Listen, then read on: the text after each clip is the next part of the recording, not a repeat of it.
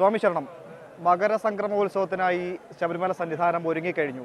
ഇനിയിപ്പോൾ സന്നിധാനത്ത് കാത്തിരിപ്പിന്റെ ദിവസമാണ് കാത്തിരിപ്പിന്റെ മണിക്കൂറുകളാണ്.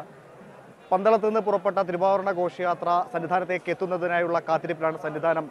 കഴിഞ്ഞ വർഷം നമുക്കറിയാം കൊറോണയുടെ പശ്ചാത്തലത്തിൽ സന്നിധാനത്തേക്ക് ഈ മകരവിളക്ക് ദിവസം ഭക്തർക്ക് പ്രവേശിക്കുന്നതിന് വലിയ നിയന്ത്രണങ്ങൾ ഉണ്ടായിരുന്നു എന്നാൽ ഇത്തവണ ആ നിയന്ത്രണങ്ങളൊക്കെ കുറച്ചുകൊണ്ട് തന്നെ പരമാവധി ഭക്തർക്ക് സന്നിധാനത്തേക്ക് എത്താനുള്ള ഒരു അവസരം ദേവസ്വം ബോർഡും സർക്കാരും ഒക്കെ നൽകിയിട്ടുണ്ട്. അതുകൊണ്ട് തന്നെ ഇന്നിപ്പോൾ വലിയ തിരക്ക് സന്നിധാനത്ത് ഭക്തരുടെ അനുഭവപ്പെടുന്നുണ്ട്. എഴുപത്തി ഭക്തർ സന്നിധാനത്ത് നാളെ എത്തും എന്നാണ് ദേവസ്വം ബോർഡ് പ്രതീക്ഷിക്കുന്നത്. ഇന്നിപ്പോൾ എത്തുന്ന ഭക്തർക്കൊക്കെ തന്നെ സന്നിധാനത്ത് വിരിവെക്കാനുള്ള അവസരങ്ങളെല്ലാം ഒരുക്കിയിട്ടുണ്ട്. അതുകൊണ്ട് തന്നെ എത്തുന്ന ഭക്തർ ആരും തന്നെ മടങ്ങുന്നില്ല. സന്നിധാനം ഞാൻ മുമ്പ് സൂചിപ്പിച്ച പോലെ തന്നെ ഇനി ഒരു കാത്തിരിപ്പിലാണ് ആ തിരുവാഭരണ പേടകങ്ങൾ സന്നിധാനത്തേക്ക് എത്തുന്നതും അത് ചാർത്തിയുള്ള ദീപാരാധനത്തിന് ശേഷം പൊന്നമ്പമേട്ടിൽ തെളിയുന്ന പുണ്യ ജ്യോതിയും ഒക്കെ കണ്ട് മലയിറങ്ങാനായുള്ള കാത്തിരിപ്പിലാണ് സന്നിധാനം. അതിനു മുമ്പ് പേടകങ്ങൾ പന്തളത്ത് പുറപ്പെട്ട പേടകങ്ങൾ സന്നിധാനത്തേക്ക് എത്തു എത്തുന്നതിന് മുൻപ് പരമാവധി സന്നിധാനമൊക്കെ ഒരുക്കി ആ, ഒരു മുഹൂർത്തത്തിനായുള്ള കാത്തിരിപ്പിലാണ് സന്നിധാനമൊക്കെ നമുക്കറിയാം.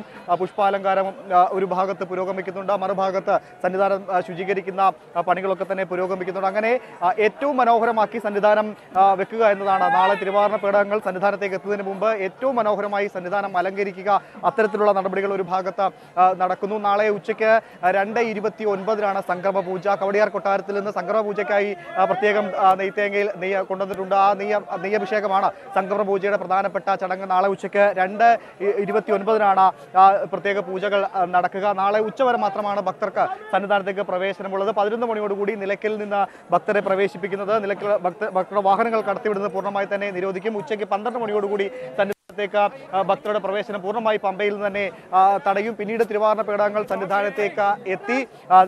തിരുവാരണം ചാർത്തി ദീപാരാധനയ്ക്ക് ശേഷം മാത്രമാണ് ഭക്തർക്ക് പ്രവേശനമുള്ളത്. ഏതാണ്ട് അഞ്ച് മുക്കാലോടുകൂടി ഈ തിരുവാറ പേടകങ്ങൾ മരക്കൂട്ടത്തേക്ക് എത്തും അവിടെ നിന്ന് ശരംകുത്തിയിൽ നിന്ന് ദേവസ്വം ബോർഡ് പ്രതികൾ ചേർന്ന തിരുവാറിന പേടകങ്ങൾ സ്വീകരിച്ച് ആറ് അരയോടുകൂടി സന്നിധാനത്തേക്ക് എത്തും ആറേ മുക്കാലോടുകൂടിയാണ് ഈ തിരുവാഭരണം ചാർത്തി ദീപാരാധന ഞാൻ ആദ്യം സൂചിപ്പിച്ച പോലെ തന്നെ ഇനി എല്ലാവരും കാത്തിരിക്കുന്നത് ആ ഒരു മുഹൂർത്തത്തിന് വേണ്ടിയാണ്. കഴിഞ്ഞ തവണ വലിയ നിയന്ത്രണങ്ങൾ തീർത്ഥാടകർ പ്രവേശനത്തിനുണ്ടായിരുന്നെങ്കിൽ ഇത്തവണ അത്തരത്തിൽ നിയന്ത്രണങ്ങൾക്ക് നൽകിക്കൊണ്ട് പരമാവധി ഭക്തരെ ഇവിടേക്ക് പ്രവേശിപ്പിക്കുന്നുണ്ട്. അതുകൊണ്ട് തന്നെ എല്ലാവരും കാത്തിരിക്കുന്നത് ഇനി മകരസംക്രമ ദിവസമായ നാളെ തിരുവാരണ പേടകങ്ങൾ സന്നിധാനത്തേക്ക് എത്തുന്നു. അവ സ്വീകരിക്കുന്നു. പിന്നീട് നടക്കുന്ന ദീപാരാധന. അതിനുശേഷം പൊന്നമ്പലമെട്ടിലെ ദിവ്യ ജ്യോതി കണ്ട മലയിറങ്ങാനുള്ള കാത്തിരിപ്പിലാണ് എല്ലാവരും സന്നിധാനത്ത് നിന്ന് സജിത് നെടുമ്പങ്കാടിനൊപ്പം. സി ജുമേഷ് ജനം.